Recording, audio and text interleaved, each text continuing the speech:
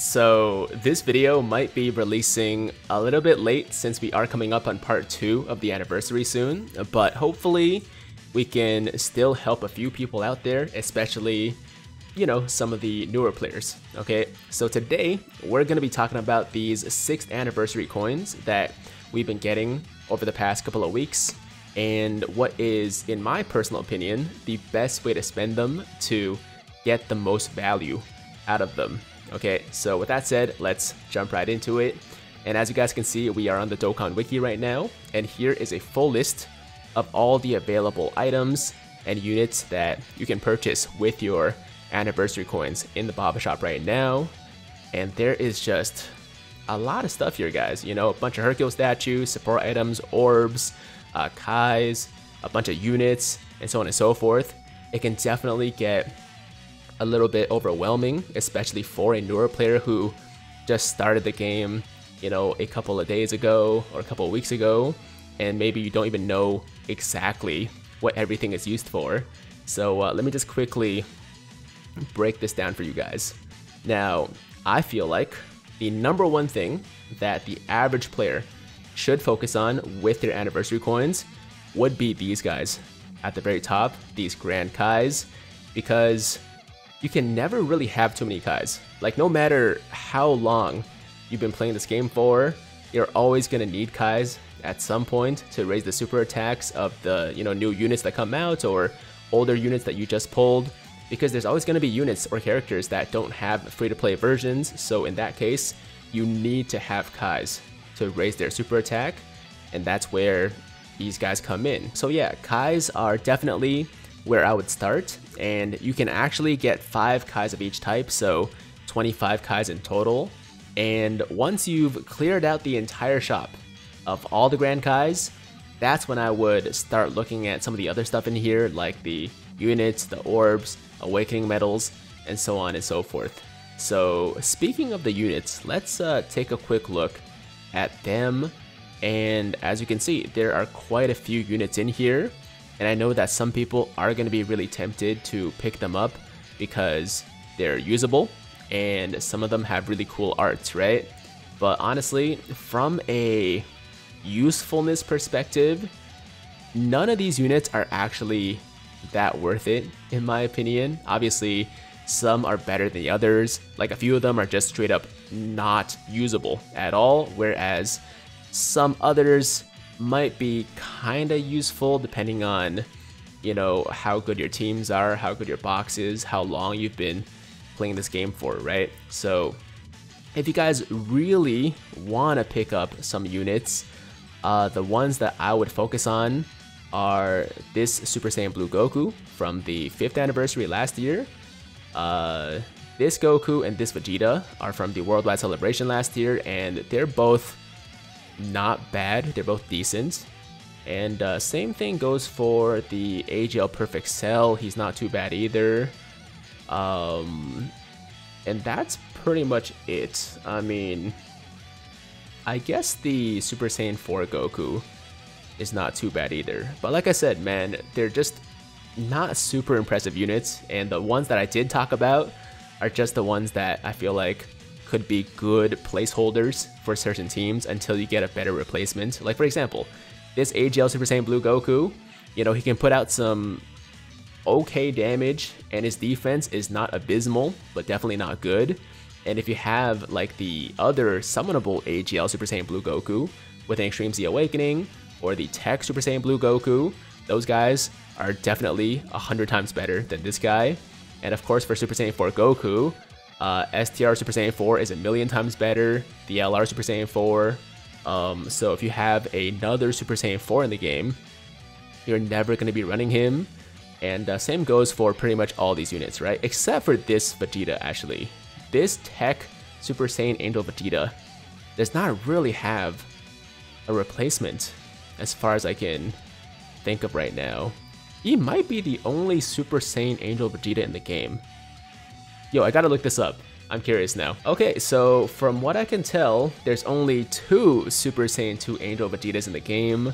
One of them is the Tech one, and the other one is this free-to-play Vegeta from the Super Saiyan 3 Vegeta token event. So Um, I guess out of all the available units here, this Vegeta is probably the most worth it because number one, there's not really a better replacement out there, and number two, he is one of the best units, you know, out of this entire pool. So if you gotta get just one, get this Vegeta, but uh, everybody else is just for collection purposes, and of course, that depends on the person, right? It's a personal decision. Like some people are collectors, they got that collector mentality, so they want to have as many different units as possible, as complete of a collection as possible, and I can respect that.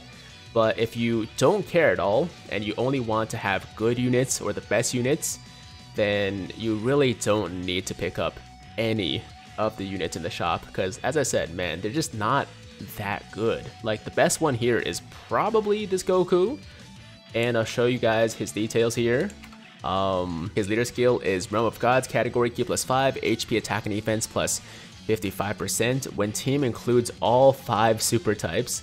And then super attack, supreme damage, raises defense for 5 turns, passive attack and defense plus 55% plus an additional attack plus 55% with 5 or more Ki spheres obtained, plus an additional attack plus 55% when performing a super attack.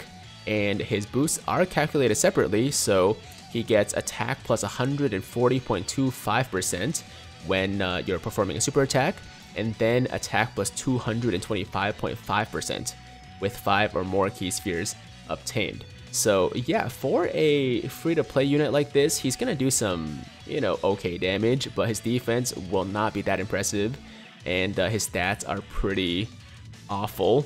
So you know, once again, I've said this many times, these are not good units, but if you want to have them for collection purposes, or if you're really new and you just need a filler for a Super Saiyan 4 team, or a Super Saiyan 3 team, or a Realm of Gods team, then maybe consider picking up this Goku, or this Goku, or this Vegeta, and uh, the Cell is not too bad either, but outside of those guys, um, there's really no reason to pick up anybody else except to complete your collection. Alright, so those are the units. And uh, outside of the units and the Kais, I do think that people should be picking up these medals, especially the hourglasses, because they're always going to be useful, right? Like these are for reversing your units to feed in dupes, and even at this point, I'm constantly running out.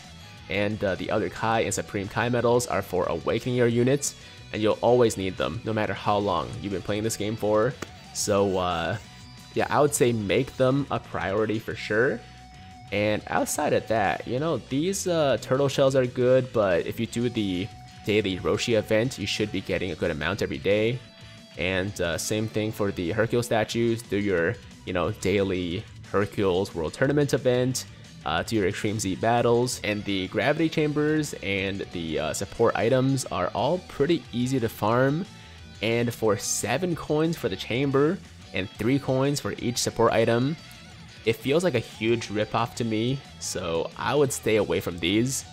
And uh, finally, we have the orbs, and obviously orbs are always useful too, right? Um, so if you guys are really hurting for orbs, it's not a terrible idea. So I would say the order of priority should go uh, Kai's first, and then the medals, and then orbs third. Unless you're a collector and you really want to have a lot of units, or you know as many units as possible, then you know you could buy some of the units, and obviously it's not a bad idea either. But once again, man, they're just not that good.